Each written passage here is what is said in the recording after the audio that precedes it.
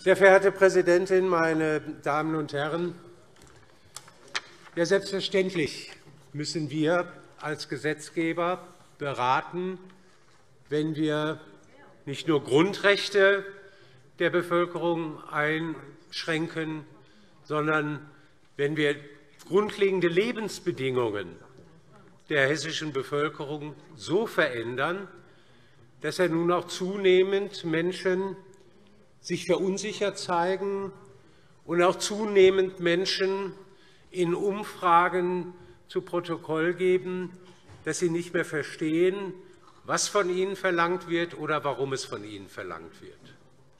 Das ist Pflicht und Schuldigkeit von uns als der Volksvertretung, genau diese Situationen zu beobachten, aufzunehmen und als Gesetzgeber darauf zu reagieren. Es hat auch bei Ihnen in der Koalition zu Verwunderung geführt, dass wir als die einzige Oppositionsfraktion Ihren Gesetzentwurf jetzt nicht ablehnen, sondern uns enthalten haben. Das folgt der von uns immer ausgeübten Maxime, wir finden es nicht falsch, was Sie da machen. Es geht uns nicht weit genug. Es ist in einem Detail wahrscheinlich sogar irreführend.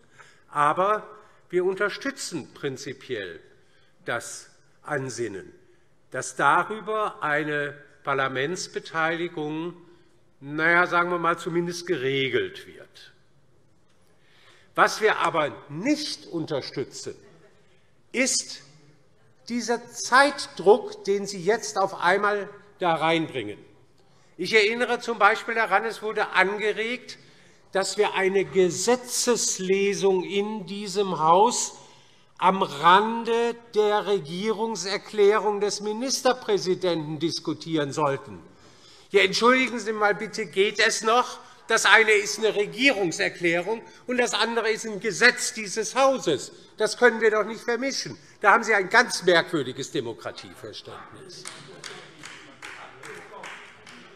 Der Ministerpräsident hat am früheren Tag heute und Sie, Frau Klaus, haben sich ja gerade darauf bezogen, dass auch ohne dass wir das Gesetz schon haben, der Ministerpräsident sich daran hält. Ich will das aber noch einmal genau zitieren, was Herr Bouvier gesagt hat. Er hat uns in diesem Haus davon in Kenntnis gesetzt, dass es zukünftig Ausgangsverbote in der Nacht geben wird.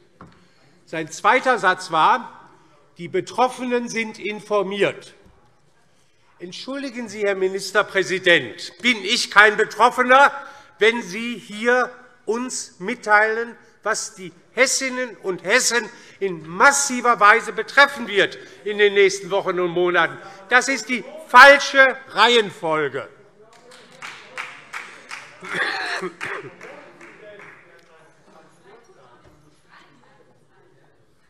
Meine Damen und Herren, wenn Sie noch einen Zweifel daran haben, welche Wertschätzung unser Ministerpräsident der parlamentarischen Debatte entgegenbringt.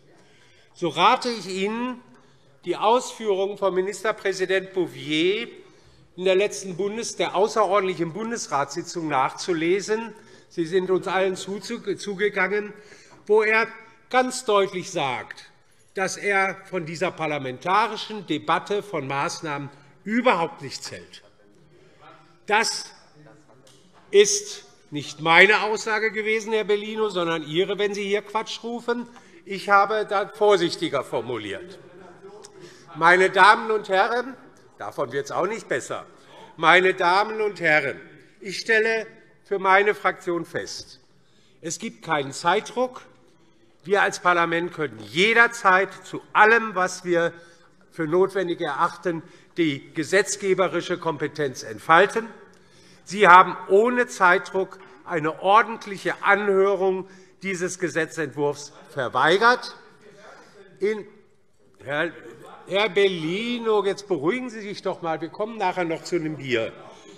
Ähm, es wird eine ordentliche Anhörung verweigert, obwohl selbst im zuständigen Hauptausschuss seitens der Regierungsparteien zugestanden wurde, dass es bei den zwei zur, heute nicht zur Abstimmung, aber den zwei im Geschäftsgang befindlichen Gesetzentwürfen durchaus redenswerte Alternativen vorhanden sind.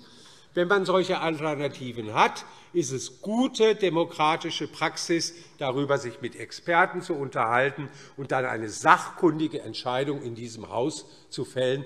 Das war von Ihnen nicht gewollt. Sie drücken Ihre Mehrheit durch. Okay, so ist es halt. Vielen Dank.